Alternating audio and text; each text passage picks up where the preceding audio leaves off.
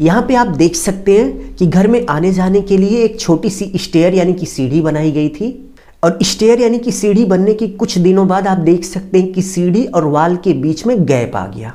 तो स्टेयर और वाल के बीच में यह गैप बहुत ही डेंजरस है। इस सिचुएशन में स्टेयर यानी कि सीढ़ी जो है, वो दीवार के अपोजिट डायरेक्शन में गिर सकती है और इसके साथ साथ यदि छोटे बच्चे इस स्टेयर पर ध्यान देकर नहीं चलेंगे तो इस गैप में उनका पैर भी फंस सकता है।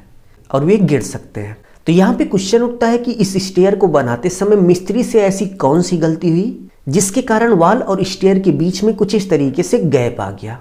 तो चलिए हम आपको कुछ एग्ज़ाम्पल के माध्यम से प्रैक्टिकल तरीके से बताने की कोशिश करते हैं। बट वीडियो में आगे बढ़ने से पहले आप सभी से बस छोटी सी रिक्वेस्ट है कि प्लीज़ वीडियो को लाइक कर लीजिए।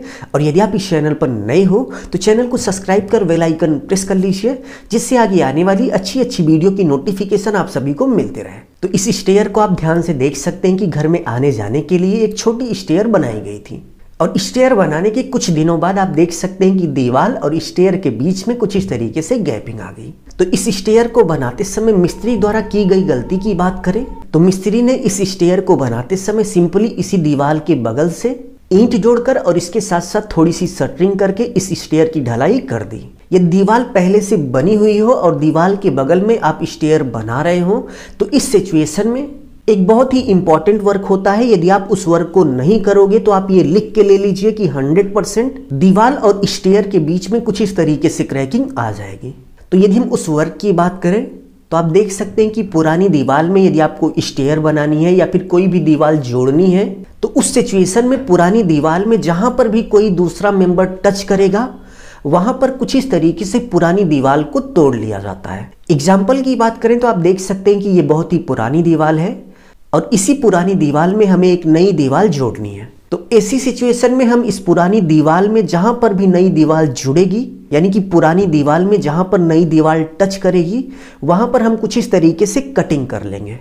और कटिंग करने के बाद पुरानी दीवार में जब हम नई दीवार जोड़ेंगे तो पुरानी और नई दीवार के बीच में कुछ इस तरीके से गैप या फिर क्रैक नहीं आएगा। तो इस स्टेयर को दीवार के साथ बनाते समय सेम यही गलती हुई।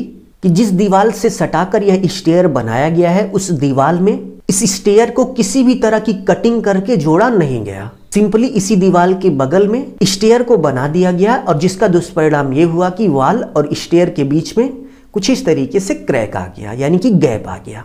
तो इस स्टेयर को बनाने से पहले सिंपली मेसन को यही करना था कि जहाँ पर स्टेयर का स्टेप दीवार को टच करता, वहाँ पर चौक से मार्किंग करके कुछ इस तरीके से दीवार को दो से ढाई इंच तोड़ देते। और तोड़ने के बाद दीवार में जोड़ते हुए जब आप इस स्टेयर की ढलाई करते तो स्टेयर में कुछ इस तरीके से क्रैकिंग कभी नहीं आती। यदि आप एक सिविल इंजीनियर हैं या फिर कॉन्ट्रेक्टर हैं या फिर आप मेसन हैं, आप पुरानी दीवार में यदि किसी भी मेंबर को जोड़ रहे हो तो वह मेंबर दीवार में जहाँ पर भी टच करेगा, वहाँ पर पुरानी दीवार को कुछ इस तरीके से तोड़ लेना है। और पुरानी दीवार को तोड़ने की गहराई आपको मिनिमम टू इंच रखनी है। तो यदि आप ऐसा करेंगे तो आप ये मान के चलिए कि आपकी जोड़ पर कभी भी क्रैकिंग नहीं आएगी और इसके साथ साथ कुछ इस तरीके से गैप नहीं आएगा।